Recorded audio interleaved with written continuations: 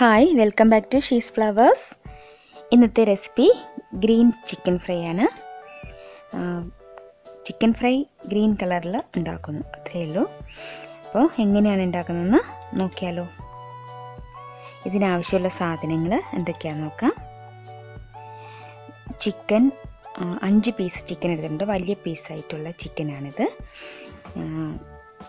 ഈ ചിക്കന്റെ പീസസ് ഈ ഒരു പാകത്തിലുള്ള പീസാണ് എല്ലാം. അഞ്ച് പീസ് എടുത്തിട്ടുണ്ട്. ഇതിലേക്ക് വേണ്ട മസാലയാണ് തയ്യാറാക്കുന്നത്. ഇത് ഇതിലേക്ക് ഒരു അരമുറി നാരങ്ങയുടെ നീര് ചേർക്കും. മല്ലിയില പുതിനയില ഒരു കുറച്ചൊരു പിടി വീതമുണ്ട്. വെളുത്തുള്ളി ഇഞ്ചി മൂന്ന് പച്ചമുളക് ഒരു ചെറിയ സവാള.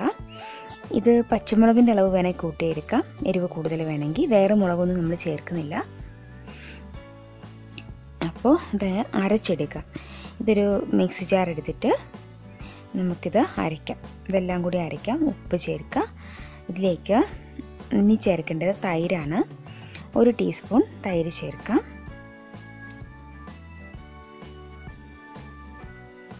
ഇത്രയും തൈര് മതി. ഇനിയും ഇതിലേക്ക് നാരങ്ങ നീരും കൂടി ചേർത്ത് നന്നായിട്ട് അരച്ചെടുക്കണം. ഈ പേസ്റ്റാണ് നമ്മൾ ഇതിനകത്തേക്ക് മാരിനേഷൻ ചെയ്യാനായിട്ട് ഉപയോഗിക്കുന്നത്.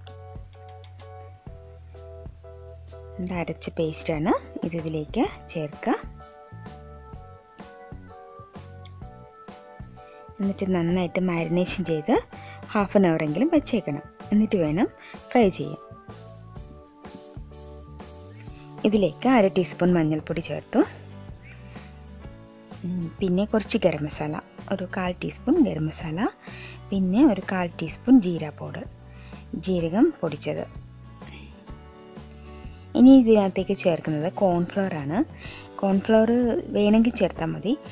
ഞാൻ ചേർക്കുന്ന എന്തിനാന്ന് വെച്ചാൽ നല്ലൊരു ബൈൻഡിങ് കിട്ടാനും പിന്നെ ക്രിസ്പി ആവാനുമാണ് കോൺഫ്ലവർ ചേർക്കുന്നത്. കോൺഫ്ലവർ ചേർത്ത് ഫ്രൈ ചെയ്യുമ്പോൾ നല്ല ക്രിസ്പി ആയിട്ടിരിക്കും. ഇതിലേക്ക് കോൺഫ്ലോർ ചേർക്കാം ഒരു ടീസ്പൂൺ.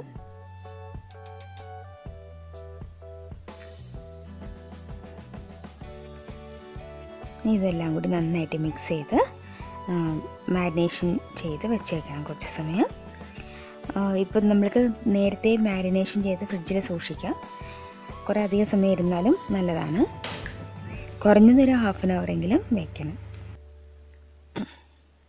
ഇതിലേക്ക് ഓയിൽ ഒഴിച്ച് ഫ്രൈ ചെയ്യാം.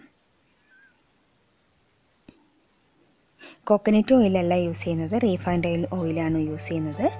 ഞാൻ കുറച്ച് ഓയിൽ ഇട്ടിട്ടുള്ളൂ. ഇത് ഷാലോ ഫ്രൈ ചെയ്തെടുത്താൽ മതി. അല്ലെങ്കിൽ നമുക്ക് ഓവനിൽ വെച്ച് ഗ്രില്ല് ചെയ്തെടുക്കാം. അല്ലാതെയും നമുക്ക് ഗ്രില്ല് ഗ്രില്ലിംഗ് ഓപ്ഷൻ ഉണ്ടല്ലോ.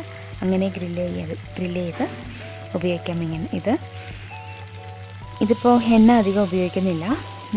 കുറച്ച് എണ്ണ ഒഴിച്ചിട്ട് മൂടി വെച്ച് വേവിക്കുക. അപ്പം നന്നായിട്ട് കുക്കായിക്കോളും അധികം എണ്ണയില്ലാതെ ഫ്രൈ ചെയ്തെടുക്കുന്നതാണ് നല്ലത്.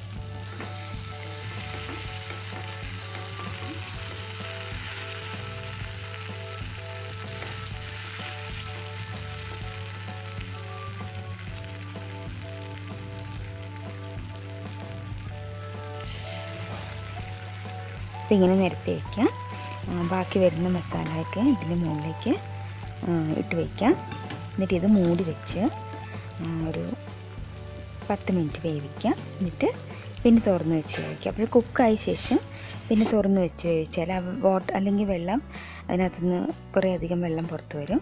അപ്പോൾ തുറന്ന് വെച്ചതിന് പിന്നെ വേവിക്കണം.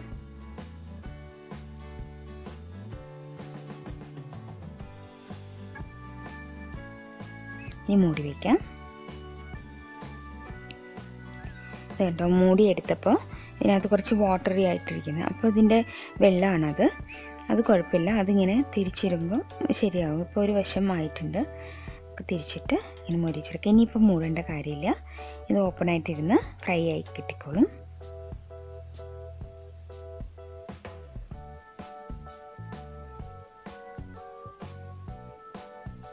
രണ്ട് വശം ഇതുപോലെ മൊരിച്ചെടുക്കുക നന്നായിട്ട്. മസാലയൊക്കെ അതിലേക്ക് പിടിച്ച് നന്നായിട്ട് മൊരിഞ്ഞു വരും. നല്ല ടേസ്റ്റി ചിക്കൻ ഫ്രൈ ആണിത്. നിങ്ങളൊന്ന് ട്രൈ ചെയ്ത് നോക്കണം. അപ്പോഴേ അറിയുള്ളൂ അതിന്റെ ടേസ്റ്റ്. നല്ല ടേസ്റ്റിയാണ് അതിപ്പം ഇത് ഫ്രൈ ആയിട്ടുണ്ട്. അതിനകത്ത് എണ്ണയൊക്കെ സെപ്പറേറ്റ് ആയി. നമ്മൾ ഒഴിച്ച അത്രയും എണ്ണ തന്നെ ബാലൻസ് ഉണ്ട്. അപ്പോൾ അധികം എണ്ണയൊന്നും ആയിട്ടില്ല ചിക്കനിലേക്ക്. അപ്പോൾ നമ്മൾ നമുക്ക് നല്ല ഹെൽത്തിയാണ് അധികം എണ്ണ ചിക്കനിലേക്ക് പിടിച്ചിട്ടില്ല.